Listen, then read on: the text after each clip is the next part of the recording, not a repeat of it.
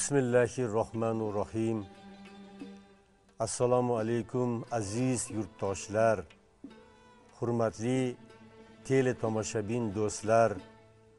Otalar so'zi aqlning ko'zi ko'rsatuvining doimiy muxlislari. Sizlar bilan yana yuz ko'rishib turganimizdan yaratganga shukurlar aytamiz. Xalqimizda yaxshi odat bor. Hamisha shukur qilib yashaydi. Eng og'ir paytlarda ham shukur bilan kelgan sinovlarni yengib o'tadi. Shukur bilan sabrli qanoatli bag'ri keng bo'ladi. Shukur qilishda hikmat ko'p. Shukur odamni tozalovchi fazilat. Men bejizga gapni shukur bilan boshlamadim. Menga bir xat kelgan. Hozir sizlarga mana shu xatni o'qib bersam.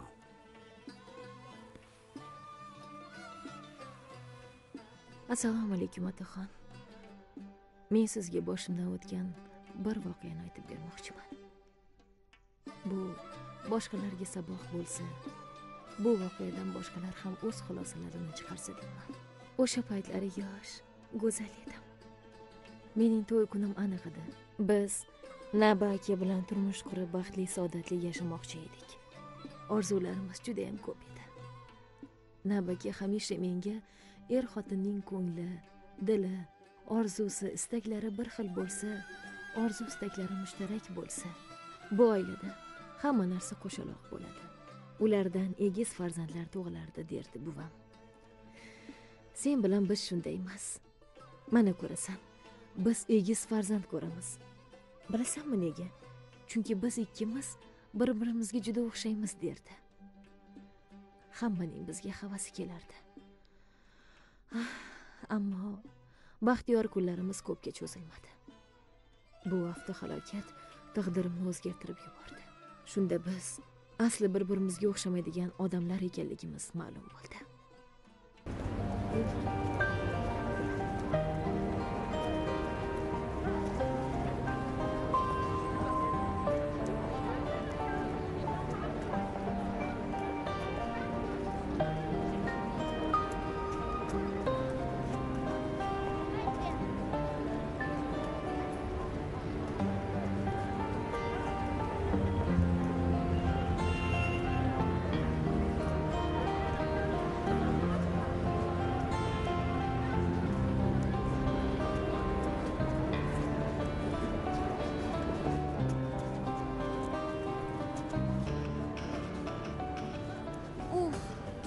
Ham yo'q men yoqtirgan muzqaymoq yo'q ekan. Ha, ana bular ham yaxshi. Buni qara uchinchi do'konda so'rashimiz. Hmm, ana bular ham yaxshi.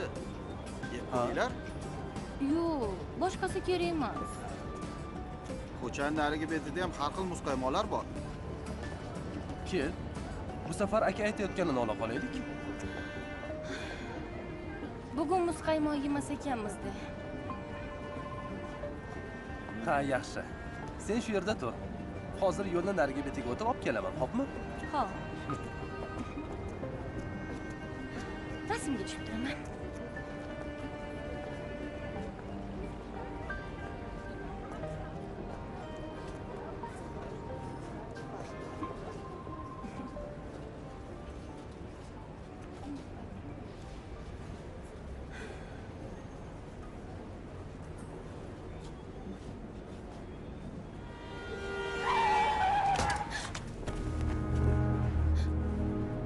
Nabaka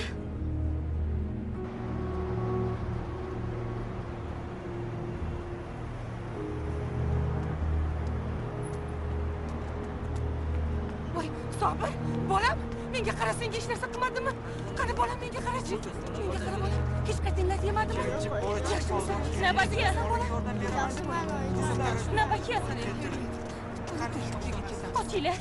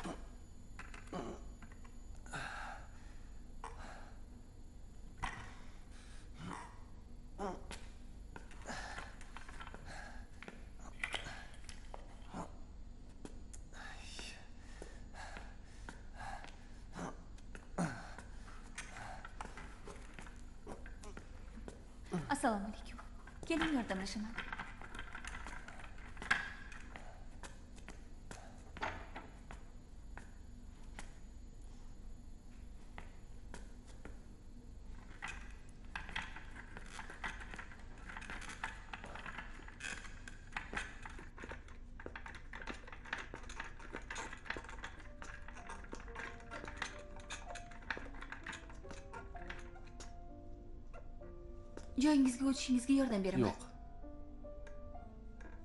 O'zim o'taman. Xo'p.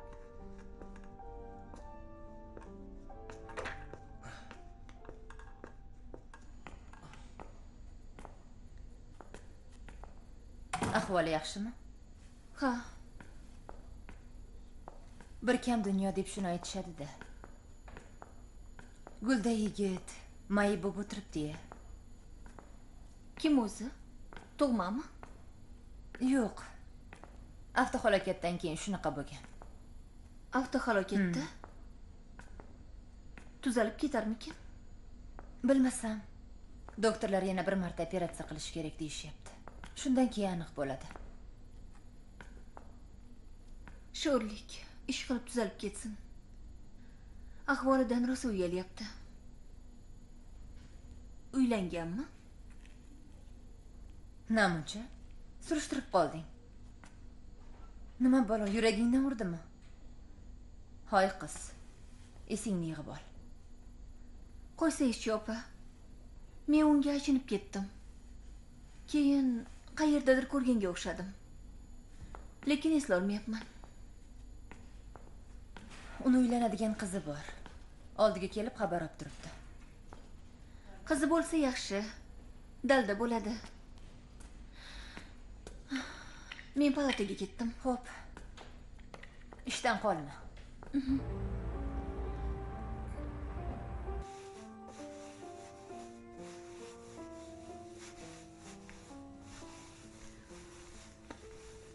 Keyin mana bularni ham dazmol qilasan. Xo'p. Hmm. Oyi, hmm. Achinib ketdim. Shunday ko'rkam yigit nogiron bo'lib qolgan. seni bilaman har ko'rgan kasalga achinib o'zingni yeb qo'yasan shuning uchun o'sha yerga ishga kirishingga qarshi edim Bir yil ishlaymanda, keyin institutga topshirarman. bir yil ishlasang keyin falon yil o'qisang qachon erga tegasan? Qari qiz bo'lib qolmaysanmi bunaqada? Oyi. Agar peshonamga er yozilgan bo'lsa, albatta tegaman. shu o'jarligingdan bir kuni pushaymon bo'lmasang bo'ldi edi bilib qo'y. Agar seni o'zimiz o'qitib olamiz desa shartta yerga berib yuboraman o'ylamay. Qarab o'tirmayman. Tezroq bo'l hali ovqat qilishing kerak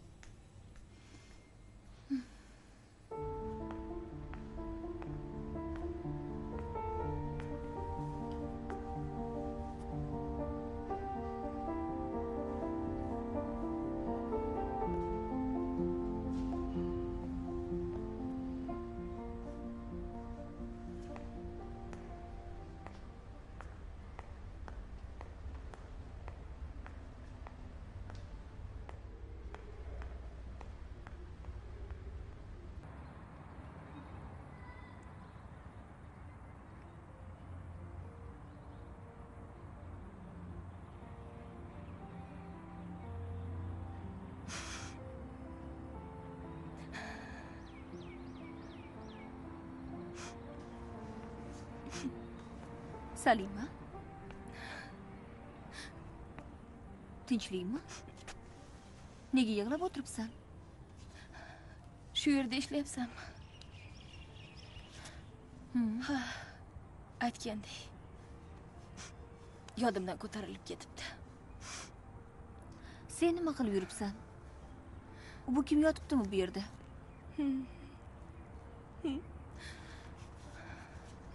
Nabakam yotibdilar. Nabaka? Kim u? Unashtirilgan yigitim. qaysi palatada? Nima qildi? Avtohalokat. Ikki yuz o'n to'rtinchi palata. Ikki yuz o'n to'rt.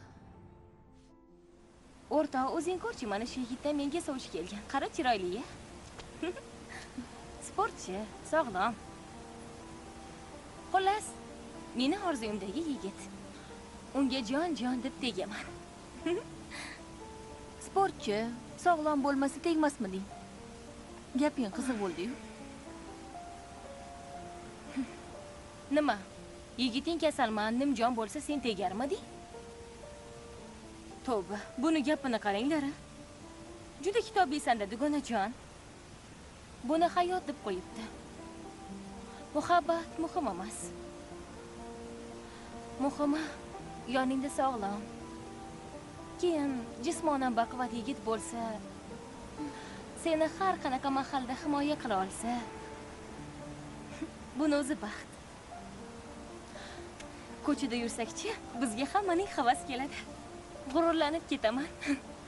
Biram baxtliman o'rtoq. Qara chiroyli ya kelishgan yigit ekan. Baxtli bo'linglar? Tag'in ko'zing tegib qolmasin. Voy bu nima deganing dugonajon bo'ldi o'rtoqjon ketdik. Tura qol Xo'p. ketdik. Muzqaymoq yeymiz haligi bolani qutqaraman deb o'zini mashina urib ketgan yigitmi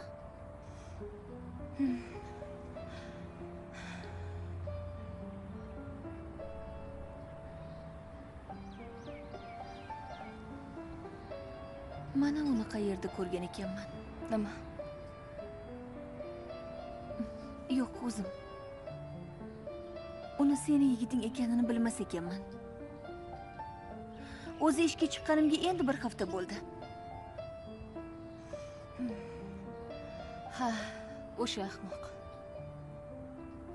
Ahmoq bo'lmasa begona bolani deb jonini xatarga qo'yarmidi? Mana endi bir umrga nogiron bo'lib qoldi. Unday dema. Bunaqa yigitlarni qahramon deyishadi. Kasalxonada hamma uni hurmat qiladi. Doktorlar uni oyoqqa turib ketadi deyishyapti. Hali ko'rmaganday bo'lib ketadi. Doktorlar bilan gaplashdim. Kafolat yo'q deyishyapti. Lekin tuzalib ketarmish bularni hammasi ko'ngilni ko'tarish uchun aytiladi. Sizlarni ishinglar shu. Bu nima deganing nega buncha alamzadasan meni o'rnimda bo'lganingda bu kitobiy gaplaring ko'nglingni aynitgan bo'lardi. Qahramon emish qahramonligini kimga keragi bor o'sha qahramonligi tuzatib beradimi endi? O'ylab gapiryapsanmi? Yaqinda to'yimiz bo'lishi kerak edi. Hammasi puchga chiqdi. Hamma orzularim sarob bo'ldi ruxsora. Dugonajon siqilma. Hali hammasi yaxshi bo'lib ketadi. Iltimos. Menga nasihat qilmagin nasihatlar jonimga tegib ketdi. Mana sen. Shu mayibga turmushga chiqasanmi? A? Chiqmaysan. Unda nasihat qilma. Ko'nglimni ham ko'tarmay qo'ya qol.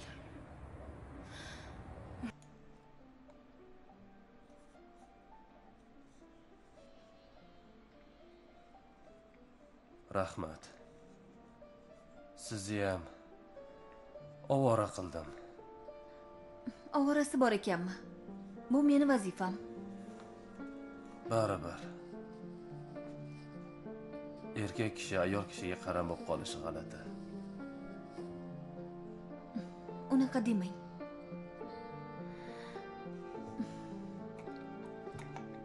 Tuzalib keting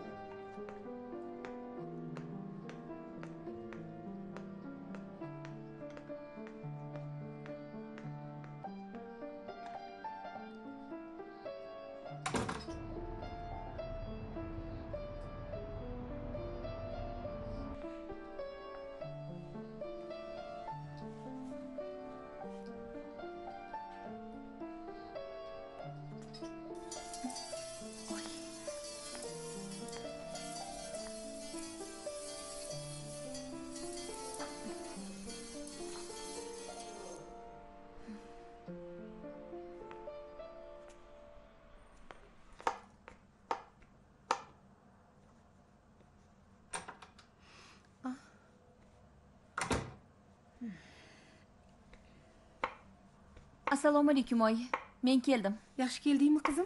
Hmm yaxshi. Ruxsora dugonangni to'yi bo'layotgan ekan. Seni ham aytdimi? Qaysi dugonam? Salima kollejda birga o'qigan dugonang. To'yi? Axir haligi nima axir? Keyingi hafta to'yi ekan. Ana taklifnoma ham tashlab ketibdi borasanmi? Axir yaqin dugonang bo'lsa.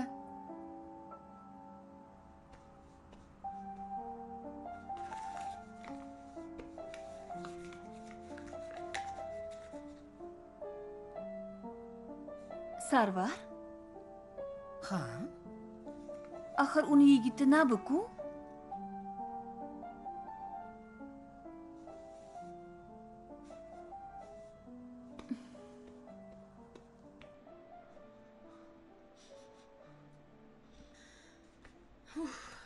meni boshqa ilojim yo'q axir.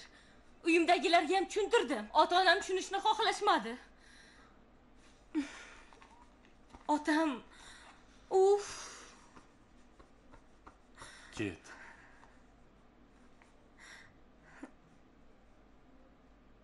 ket meni kechiring. Ket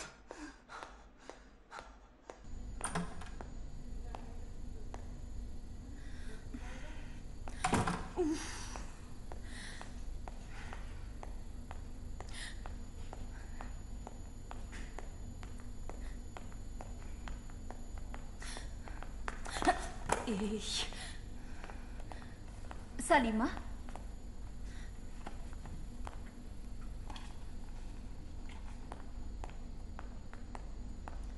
ma uyingga ham olib borgandim o'zingga ham berib qo'yay degandim o'tarsan to'yga salima xato qilyapsan uni yaxshi ko'rarding-ku yeri ko'pga ishonmasding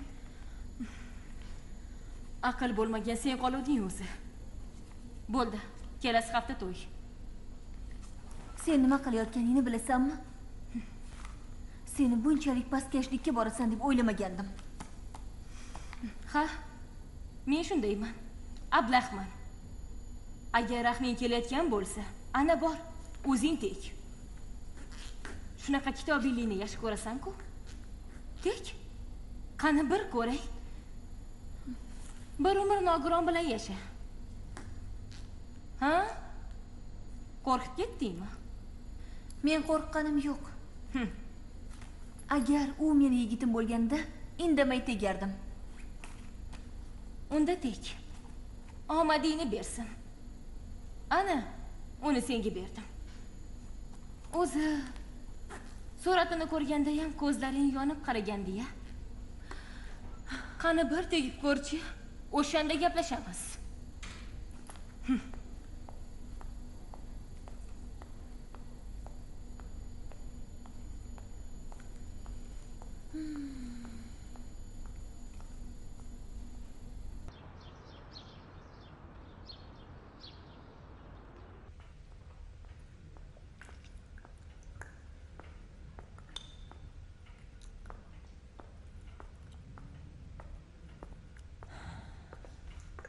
ruxsora bugun navbatchilikda qolasan xo'p? Voy unda onamga aytib qo'yishim kerak.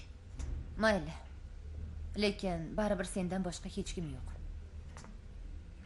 O'zing navbatchilikni xohlarding-ku ikki yuz o'n to'rtinchi palatadagi bemordan xabar olib turgan ertalab yaxshi edi-yu? Yaxshi edi. Lekin sevgan qizi turmushga chiqib ketayotgan ekan. Shunga siqilib kasali qaytalanib qoldi bir gap bo'lsa doktorni chaqir. Xo'p.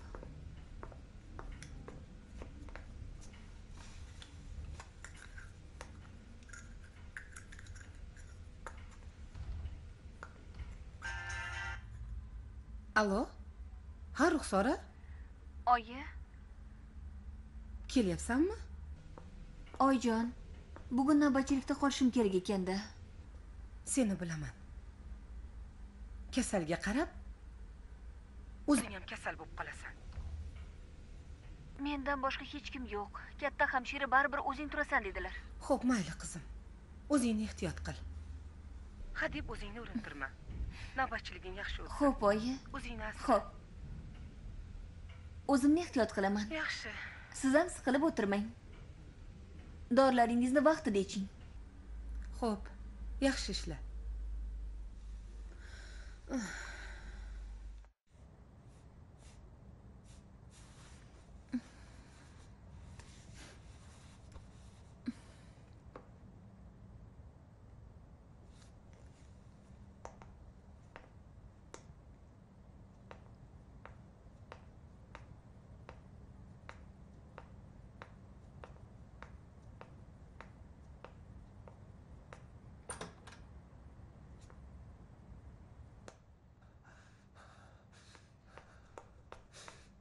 nima qilyapsiz?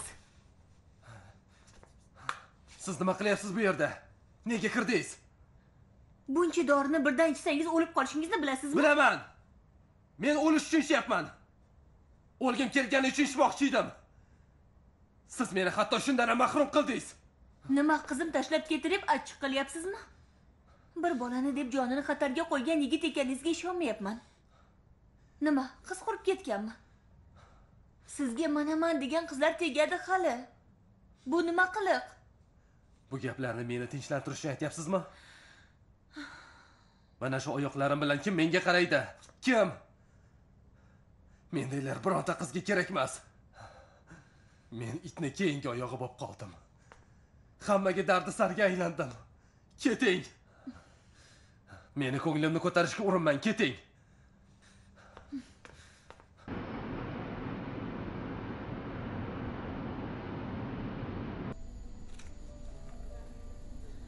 Yigitni ham tushunsa bo'ladi.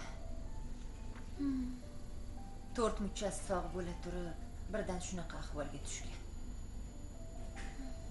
Albatta bir bolani saqlab qoldi. Lekin nima endi butunlay yurib ketolmaydimi? Bilmadim. Doktorlar umid bor deyapti. Lekin umid bor degani kafolat degani emas. Uni operatsiyaga tayyorlashgan ekan. Endi yigit menga operatsiya kerak emas ketaman deb turib olibdi. Hech narsa kerak emas deyapti. Sho'rlik yigit unga achinyapman achinayotgan bo'lsang tega qol.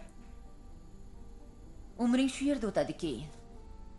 Tavba yosh qizga o'xshab gapirasan a farishtalar omin demasin yana. Unga endi o'ziga o'xshagan biror bir nuqsoni bor qiz tegmasa boshqasi tegmaydi. Bu nima deganingiz? Nogiron bo'lsa nogiron qiz tegishi kerak degani emasku agar uni qizini o'rnida bo'lganimda indamay tegardim. Esing joyidami? Shunga ya. Nima bo'pti? U birovlarni deb sog'lig'ini qurbon qildi. Bunday yigitlar mard bo'ladi. Xotinini ham baxtli qila oladi. Shu gaplarni sog' aql bilan aytyapsanmi? Albatta. Masalan men shunday yigitlarni orzu qilaman. Gap uni jismoniy sog'lig'ida emas. Uni birovlar uchun o'zini qurbon qila oladigan darajada mardligida. Voy bu jinnini qarang. Hayotni nimaligini bilasanmi o'zi? Bunaqa sevgi faqat kitobda yo kinolarda bo'ladi? Hayotda unaqasi bo'lmaydi. Men fikrimni aytdim. Demak men juda kitobiyman. Hech qachon. Katta gapirma. Nonni katta tishla. Lekin bunaqa masalada katta gapirma. Shu gapim esingda tursin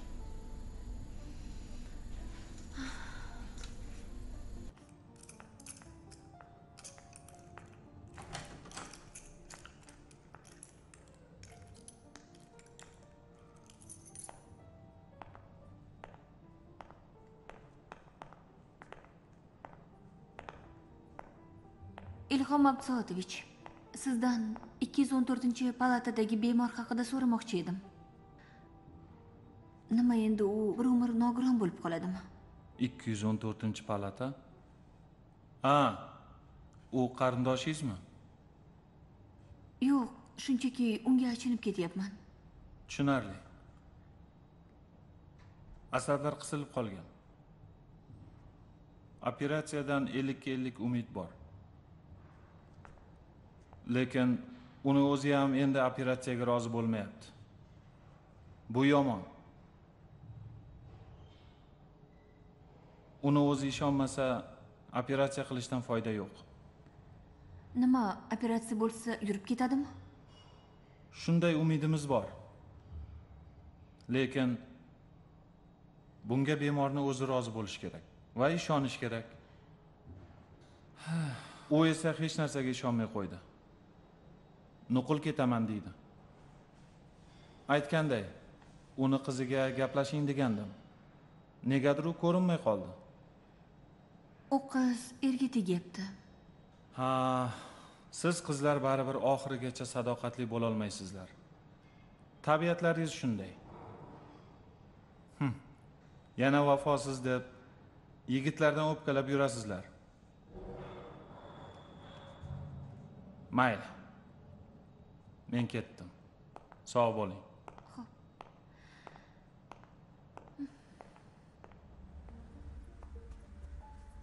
Assalomu alaykum oyi.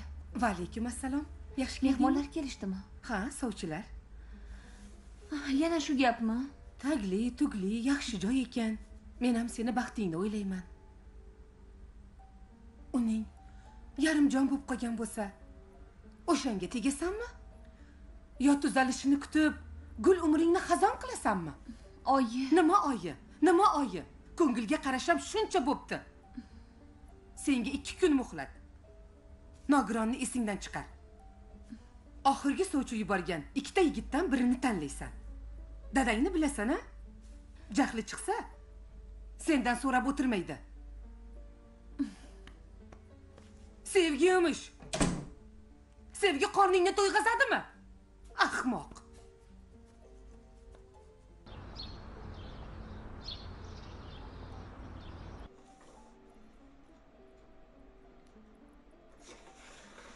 xo'sh. Qolgan muolajalardan keyin yana bir tekshirib ko'ramiz. Ruxsora bemorni palatasiga kuzatib qo'ying. Ho'p rahmat doktor.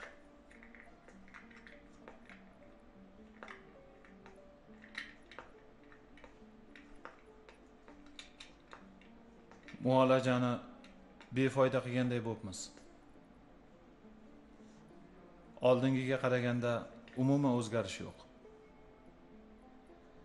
Yana muolajani xuddi shu tartibda davom ettiramiz. Xo'p. Menga ruxsatmi, Ilhom Abdusoatovich? ruxsat.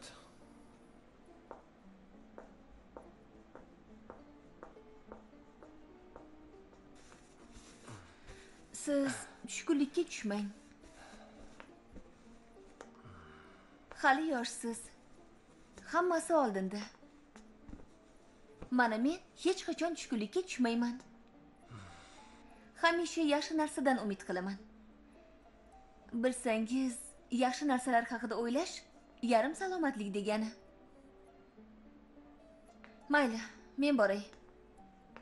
Hali ukol qilishga kiraman. Ungacha siz dorilaringizni iching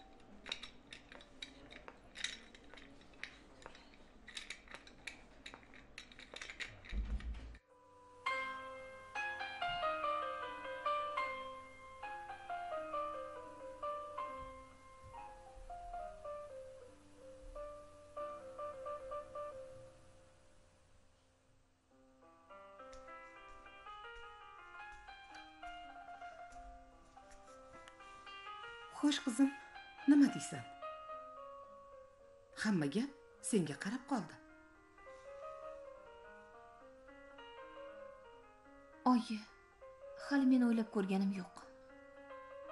Yaxshi yigit ekan. O'qimishli toparman tutarman. Xuddi orzuyingdagidek bilasanmi qizim sen o'qishga kirsang yana seni o'qishingni davom ettirishingga rozi bo'lishdi. Dadangga ham ma'qul keldi. Senga qarab turibmiz. Oyi salgina o'ylab olay ozgina muddat bering. Hmm. Xo'p yaxshi. Hozir yotib damingni ol. Ertalab vaqtli ishga borishing kerak. Bo'pti.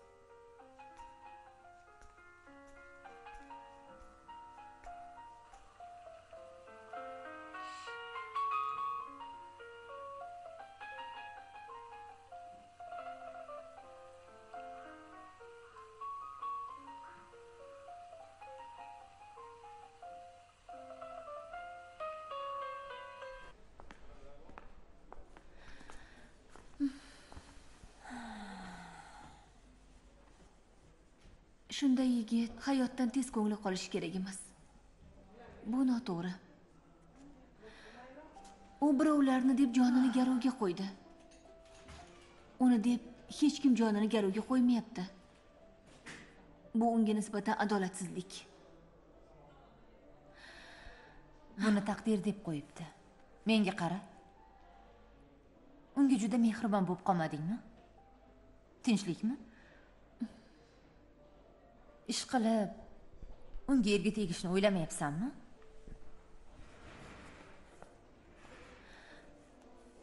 Mayli bo'pti. Men boray.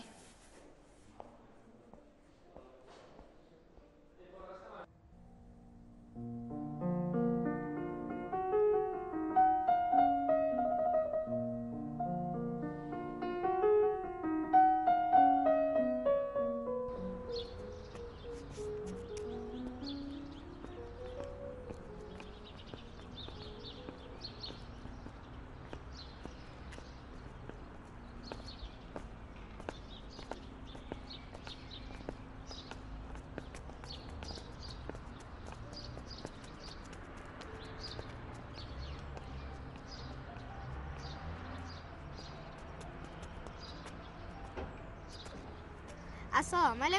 va alaykum assalom tuzalib qoldingizmi amaki ha rahmat. Sen kimsan? Bu yerga qanday kelib qolding?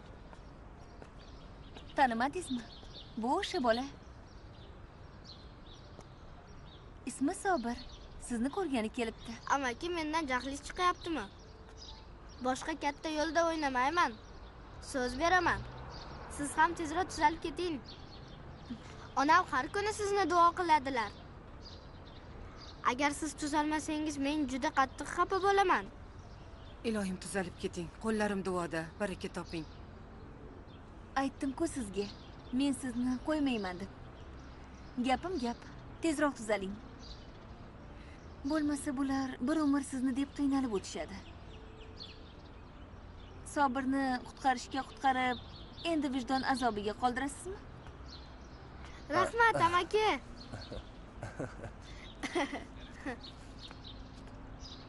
katta bola bo'lgin. Mayli endi biz boraylik. Bemorni operatsiyaga tayyorlash kerak. Tuzalib keting a ukajon.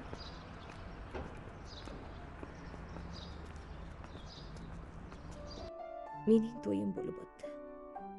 Eng kerakli payt men nabakadan voz kechdim. Ruxsora bunday qilmadi. U menga o'xshab tushkunlikka tushmadi u kelgan sovchilarni rad qilib nabakaga o'zini bag'ishladi. Unga mehrini berdi. Mehr katta kuch ekan. Ruxsoraning mehri nabakani jar yoqasidan qutqarib qoldi. Mayli xafa bo'lma bola. Ho'p oyi.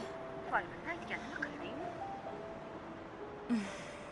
oyi folbiringiz ham kor qilmayapti hali yoshsan albatta farzandli bo'lasan. Qaynonam ham uch yildan beri tinchlikmi deb holi jonimga qo'ymayapti. O'lari bo'lsam o'lib bo'ldim oyi. O'rgilay sendan. Bolali bo'lsang shu kunlar esingdan chiqib ketadi. Sen sabr qil qizim. Sabr qil. Ho'p ho'p oyi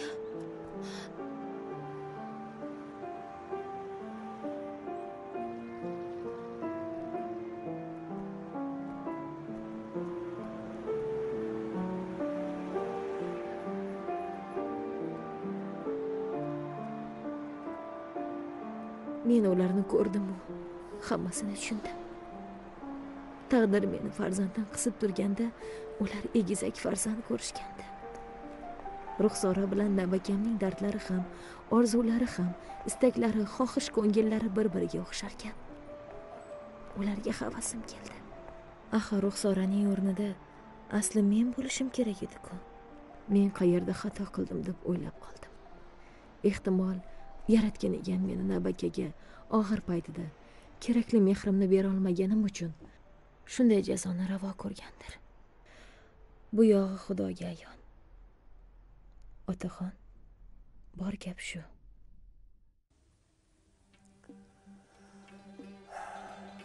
Mana azizlar salimaning boshidan o'tgan voqeaga o'zlaringiz guvoh bo'ldingiz. Men hozir salimani aybdor qilmoqchi emasman. Menimcha u hayotda chiqarishi kerak bo'lgan eng muhim xulosani o'zi chiqarib bo'ldi. Unga endi ortiqcha nasihatlar kerak emas. Ruxsoraga havasim keldi. U nabiga kerakli paytda mehr bera oldi. Uni o'z kuchiga ertasiga ishontira oldi aynan ruxsoraga o'xshaganlar evaziga dunyoda hamon mehru muhabbat odamgarchilik yashab turibdi. U o'z baxtini o'zi yaratdi. Qalbi ochiqligi oqibati mehri insonparvarligi bilan baxtini topdi. Mana shu bugungi novellamizdan chiqadigan eng katta xulosa. Salima xatida aytganday mehr katta kuch. U ko'ngillarni qayta tiriltirishga hayot bag'ishlashga qodir. Azizlar bir birimizga mehrli bo'laylik. Mehr bizni ko'p narsadan qutqaradi. Mehr bor joydan shayton qochadi. Yomonlik qochadi. Oqibatsizlik toshbag'irlik qochadi. Sizlarga ham ko'p mehr muhabbat tilab bugungi dasturimizni yakunlaymiz. Sog' omon bo'linglar.